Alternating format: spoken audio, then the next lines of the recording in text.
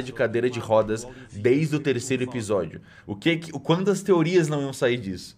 Ah, mas coincidentemente eles só acharam essa informação no episódio que eles descobriram que era o Barnabé.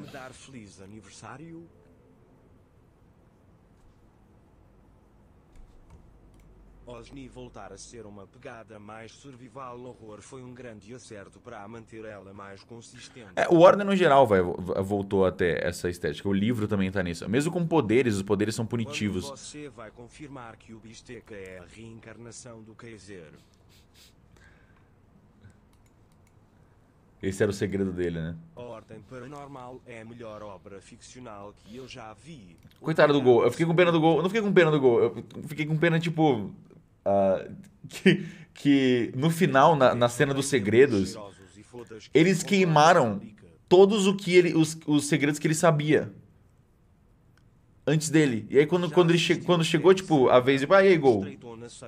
Você, você quer falar alguma coisa? Ele não sabia mais o que falar, porque não tinha, tipo, ele não sabia, ele não tinha interagido com mais nenhum outro, outro NPC.